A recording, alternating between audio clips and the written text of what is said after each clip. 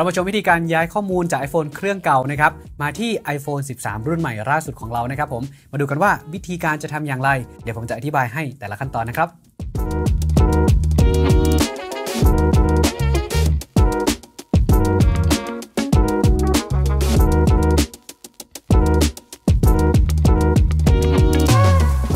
สวัสดีครับ ผมต้อมไอมดนะครับ หลายๆ คนคงจะเริ่มได้ไปรับเครื่อง iPhone 13 กันเป็นที่เรียบร้อยแล้วนะครับ 8 ตุลาคม ทาง Apple เปิดขายทั่วประเทศไทยแล้วนะครับ เอาเป็นว่าเดี๋ยวในคลิปนี้ผมจะมาสอนวิธีการย้ายข้อมูลนะครับ จาก iPhone เครื่องเก่า ในมือของผมนะครับ ตอนนี้เป็น iPhone 11 นะครับผม 11 Series เดี๋ยวผมจะย้ายมาที่ iPhone 13 Pro นะครับผม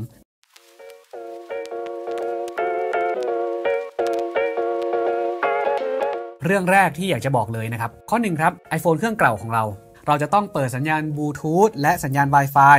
ระหว่างที่เราทำการย้ายข้อมูลนะครับต่อมาครับคือเรื่องของซิมนะครับถ้าเครื่องเก่าของเรานะครับใช้ซิมธรรมดาเราก็สามารถถอดมาใส่เครื่องใหม่ได้เลยนะครับแต่ว่าการถอดและใส่ซิมเนี่ยให้ทำหลังจากที่เราโอนถ่ายข้อมูลเสร็จก็ได้นะ อันนี้ ไม่ต้องรีบย้ายนะตอนแรกนะครับ และอันดับที่ 2 คือ เรื่องของ eSIM บางเครื่องครับ ถ้าผู้ใช้ iPhone ที่ใช้ iPhone 10s ขึ้นมานะครับ ตั้งแต่ 10s 10r 10s max 11 12 series นะครับ ถ้าจะย้ายมาตรงนี้ถ้าเป็น eSIM อยู่เนี่ยในประเทศไทยเขายังไม่รองรับการย้าย eSIM จากเครื่องเก่ามาเครื่องใหม่นะ ดังนั้นให้เราย้ายข้อมูลมาที่นี่ก่อน แล้วหลังจากนั้น พอย้ายข้อมูลมา iPhone 13 เสร็จแล้ว เราค่อยเอานำ iPhone 13 ของเราไปทำการขอ eSIM ใหม่ที่ศูนย์นะครับ สิ่งที่ผมอยากจะบอกต่อไปคือ การที่จะย้ายมาเครื่องใหม่นะครับมันจะมีอยู่ 2 กรณี กรณีแรกเครื่องใหม่ของเรายังไม่ทำการ activate หมายความว่าเขาจะติดอยู่ที่หน้า hello ครับ พอตวัดขึ้นมานะครับแล้วจะให้เลือกภาษานะครับ แต่ว่าบางคนน่ะไปที่ shop แล้วไปทำการเช็คเครื่องแล้วนะครับ คือทำการ setting ค่าต่างๆนะครับ เข้ามาที่หน้า home แบบนี้แล้วอะ และต้องการที่จะย้ายข้อมูลจากเครื่องเก่า กลับมาที่เครื่องใหม่นะครับ ให้เข้าไปที่เมนูการตั้งค่านะครับ เราจะทำการลบข้อมูลก่อนนะ และเลือกไปที่เมนูทั่วไปครับ เลื่อนไปเมนูล่างสุดครับ ที่ชื่อว่าถ่ายโอน หรือ Reset iPhone นะครับ จากนั้นเลือกเมนูด้านล่างสุด ที่เขียนว่า ลบข้อมูลและการตั้งค่าทั้งหมดนะครับ ในเครื่องตอนนั้นมันจะไม่มีอะไรอยู่แล้ว เราก็ทำตามขั้นตอนไปนะครับ แล้วเราก็เลือกดำเนินการต่อนะครับ พอเราทำการลบข้อมูลตามขั้นตอนนี้แล้วนะครับ เครื่องเขาจะกลับมาที่หน้านี้นะครับ หน้าแรกคือการ activate เครื่องใหม่ที่ค้างอยู่ตรงเนี้ย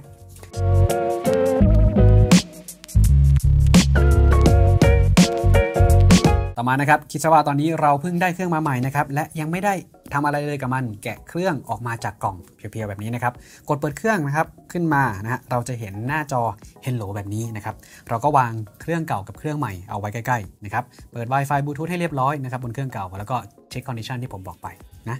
คราวนี้ครับมาที่เครื่องใหม่เนาะเราก็ตวัดขึ้นไปครับ Swipe to open แบบนี้นะครับเขาก็จะขึ้นให้เลือกภาษานะครับผมเราก็เลือกภาษาไปนะครับเลือกเป็นภาษาไทยนะครับ จากนั้นเคาะที่ iPhone ของเราทีนึงครับ เครื่องเก่าเห็นไหมครับเขาจะเด้งหน้าต่างขึ้นมาถามว่าต้องการตั้งค่า iPhone เครื่องใหม่ไหมนะครับเราก็เลือกปลดล็อกเพื่อดำเนินการต่อนะครับ แบบนี้ใส่รหัสของตัวเครื่องไปครับ เครื่องเก่านะครับพาสโค้ดใส่เข้าไปเลยหลังจากนั้นครับเขาก็จะบอกว่าเนี่ย iPhone เครื่องใหม่กำลังจะมานะ เรากำลังจะย้ายไปเครื่องใหม่ใช่ไหมนะครับมันจะมี 2 วิธีการ ถ้าสมมุติว่ากล้องเราไม่มีปัญหานะครับ เราสามารถนำ iPhone เครื่องเก่าตัวนี้มาทำการสแกนบนเครื่องใหม่แบบนี้ได้เลยนะครับ เอาวงกลมตัวนี้มาทาบวงกลมของเครื่องใหม่ แต่ถ้าสมมุติว่าเครื่องของใครนะครับ กล้องพังไม่สามารถที่จะทำการสแกนข้อมูลได้นะครับ ให้เลือกไปที่การตรวจสอบสิทธิ์เองนะครับ ตัวนี้ด้านล่าง พอเลือกตรวจสอบสิทธิ์เองเขาก็จะขึ้นรหัสมานะครับ เราก็นำรหัสที่อยู่บน iPhone เครื่องใหม่นะครับมาใส่ในการตรวจสอบสิทธิ์นะครับจากนั้นครับ iPhone เครื่องใหม่จะคุยกับเครื่องเก่านะครับเพื่อที่จะเริ่มทำการย้ายข้อมูลนะครับ iPhone เครื่องใหม่จะถามหารหัสผ่านพาสโค้ดของเครื่องเก่านะครับก็ให้ใส่รหัสผ่านไปครับ ผมตั้งเอาไว้เป็นแบบนี้ จากนั้นรอนะครับผม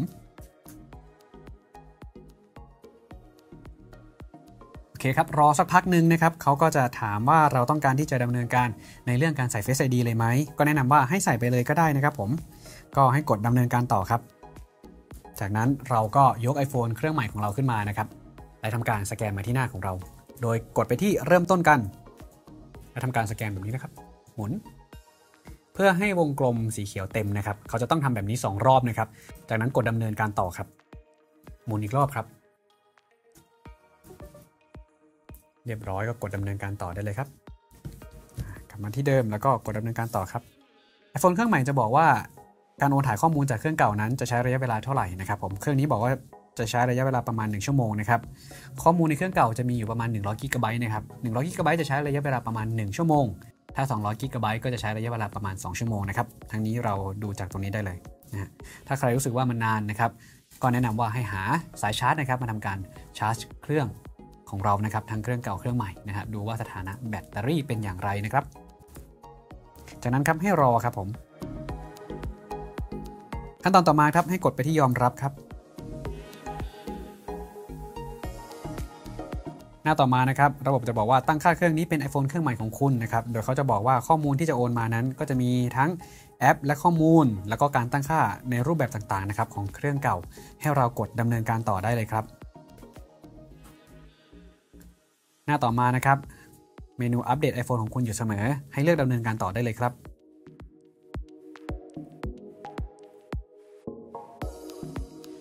อันนี้เขาจะถามว่าข้อมูลของ iCloud นั้นเราจะอัปเกรดหรือเปล่านะครับ ถ้าใครไม่อยากอัปเกรดก็แนะนำว่าให้เลือกไปที่ไม่ใช่ตอนนี้ครับ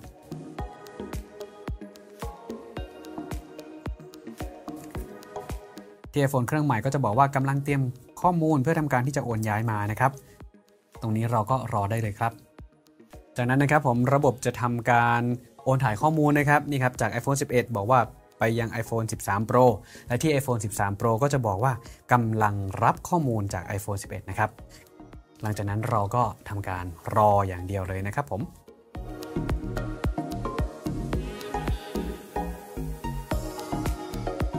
ลังจากที่ระบบโอนถ่ายข้อมูลเสร็จเรียบร้อยนะครับผมเครื่องเก่าก็จะขึ้นว่าถ่ายโอนข้อมูลสำเร็จแล้วนะครับและเครื่องใหม่นะครับก็จะทำการรีบูตนะเราก็รอสักพักหนึ่งครับผมเครื่องใหม่จะทำการรีบูตเข้ามาที่ตัวเครื่องนะ เราก็เข้าไปที่เครื่องได้เลยนะครับเครื่องนี้เขาก็จะบอกว่าไม่ได้ใส่ซิมนะครับ เพราะว่าผมยังไม่ได้ย้ายซิมมาที่เครื่องใหม่ ดังนั้น ถ้าใครสงสัยว่าต้องย้ายซิมเลยไหมคำตอบคือไม่ต้องย้ายก็ได้นะครับ ค่อยย้ายหลังเสร็จก็ได้นะครับผม วิธีการย้ายซิม ตัวนี้เป็นเครื่องที่ใช้ซิมแบบนาโนซิมนะครับเราก็นำซิมจากเครื่องเก่าครับทำการย้ายนะครับมาที่ iPhone ได้เลย ซิมของ iPhone 13 จะอยู่ทางด้านซ้ายนะครับถัดซิมจิ้มออกมาได้เลย ส่วนใครที่ใช้ eSIM นะครับ เราจะต้องนำเครื่องของเราอะไปขอ eSIM ใหม่ที่เครือข่ายผู้ให้บริการนะครับ เพราะว่าตอนนี้ในประเทศไทย บางเครือข่ายเขายังไม่ได้รองรับการโอนถ่ายข้อมูลของ eSIM มาที่เครื่องใหม่นะครับ ดังนั้นผมก็หวังว่าเครือข่ายไหนที่ยังไม่รองรับ feature นี้เนี่ยลองพัฒนานิดนึง แล้วก็จะทำให้ผู้ใช้สามารถโอนถ่ายมาได้เลยนะครับผม หรืออีกวิธีการคือเราอาจจะทำการให้เขา call ไปยังศูนย์กลางไหม call center อย่างเงี้ยผ่านแอปพลิเคชันของทางการที่ทางเครือข่ายทำมา